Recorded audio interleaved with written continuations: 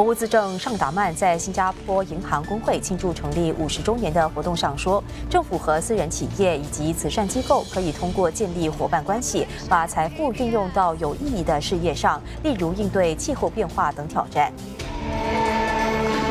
Some of the risks that need to be taken